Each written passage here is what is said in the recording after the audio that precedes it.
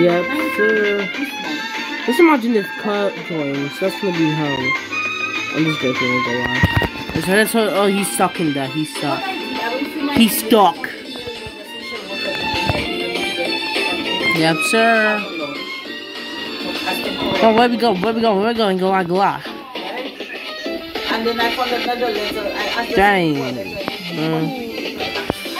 Blood stuck in there for real, for real, for real, bruh. He's stuck in there. Yep, sir.